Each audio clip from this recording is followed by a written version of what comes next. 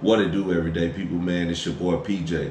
Make sure y'all hit that thumbs up button, man. Like, comment, and subscribe to every video. It's an everyday thing. It's an everyday thing. It's an everyday thing when you let your nuts hang. My niggas ain't What it do, everyday people, man? It's your boy PJ. Today, I got a wonderful, exciting video for you guys. I'm going to tell you guys how to eliminate credit card debt.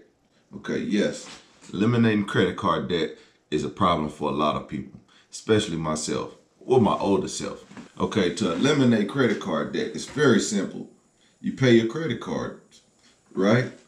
That sounds simple, but most of us, the reason why we got into credit card debt is because our inability to make extra money to provide for the things that we need. So we use our credit cards for emergencies when actually we should have an emergency stash, but we're not all there. So mm, that just brings me to point number one to pay off credit card debt. In order to pay off credit card debt, first you have to make extra money. Okay. I mean, that's simple. Okay. You may have to work overtime. You may have to get a second job. Most people now in 2021 and 2020, most people started a home based business. That means selling t shirts, making postcards or, or, or business cards, or designing shoes, clothes, selling merchandise, starting a YouTube channel, anything to create extra income. Okay. Now, one thing I want to tell you about creating the extra income. Let's let's start with YouTube because I got into YouTube uh just over a year ago, about a year and a half ago, and it's starting to generate money. Okay, so when you start to generate money, understand that that money can be consecutive if you keep it up. That's just like with anything. So if you decide to start a business selling hats, I'm gonna tell you about a business. I started selling hats. Okay, I was buying the hats for four dollars. I was selling them for twenty.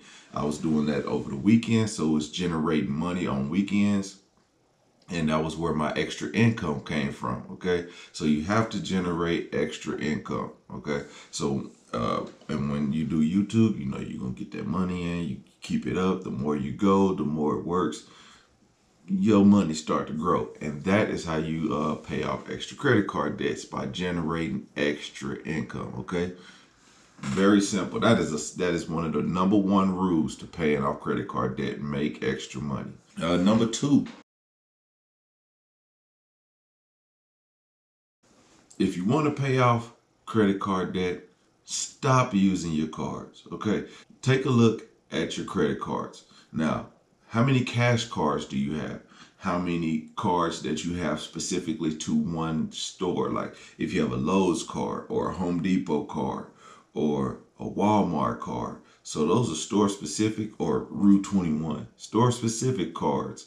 You can't use these cards anywhere else so stop using them okay you gotta stop using them altogether okay pay them off once you stop using those only focus on your cash cards well, cash cards you can pay bills with, okay? So this is what I want you to do, okay? I want you to pay off enough money to cover all your bills for the month on one credit card, okay? Pay it off, okay? Then, as you start to pay all your other credit cards off, use that one credit card to pay all your bills and just pay it back every time. So then you're revolving this money using this one cash card, paying all your bills. You have to pay your bills anyway. You're basically putting in rotation this money that you have. You're basically putting it in rotation, okay? That money's gonna stay in rotation while you try to pay off all your credit card debt, okay? While you do this, that eliminates one credit card payment okay? One credit card payment. You're making this payment every month so that eliminates that payment every month. It eliminates a lot of interest you'll pay for this month every time okay? So while you have that now you can pay out you can start snowballing your store credit cards like your home depot your lowes your walmart. You can start snowballing those And while you snowball those and you don't use those, you're using this one credit card. Now this one credit card, they see you got a lot of use. They start to boost your credit score and they also offer you more money to pay more bills. You could take the money, you could take the credit, okay? But don't spend more money. Just continue the cycle, okay? Keep that working, you'll pay the credit cards off, okay? And my third way to eliminate credit card debt. Third way to eliminate credit card debt is you guessed it, the snowball method. I've already talked about this in several different videos. The snowball method, where you could use either um, the highest credit debt or the highest interest, or you can use a combination of the two, however you like. Okay, the snowball method, I have a template, basically gives you an overview of where your debt stands and your monthly cost, and it keeps a schedule. So you can have a, a general timeline of when your debt shall be paid. Okay. Now, the snowball method only works if you don't use your credit cards. Okay. It only works, it still works regardless if you use your credit cards or not, but you don't pay off your debt. So technically, it doesn't work the way you intended to work. Okay. So using the snowball method is highly effective, but you have to make extra income. Okay, see how all this goes back to rule number one, making extra income. Okay, stop using your credit cards and using the snowball method. Three ways to eliminate credit card debt. Now, this can be done in little as a as little as a year.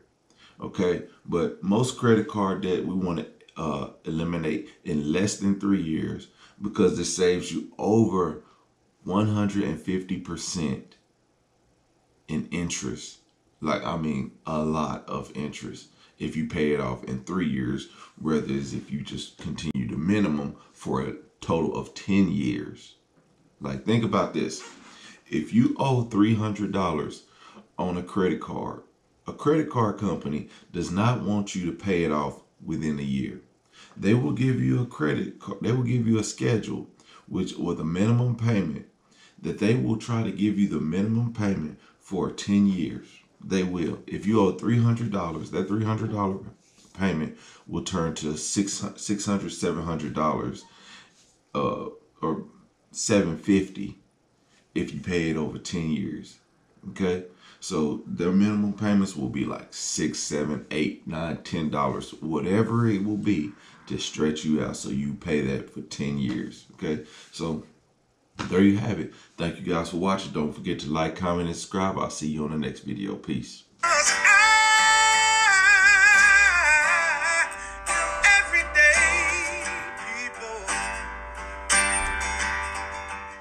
What it do, everyday people, man? It's your boy PJ, and today, man, I just want to tell y'all that I got the solution for your problem. Maybe the grandmother's about to pass, and uh, Uncle Kenneth, man, is a crackhead, and you don't want him to sell the house and smoke up all the profits before you get to split it with the family, you know what? Give me a call if you got a home that is good, bad, ugly, indifferent, raggedy, broke down, garage don't work, dishwasher don't work, anything don't work, paint don't work. If you don't work and you need to get rid of this house, how about you give me a call at 405 759 0038.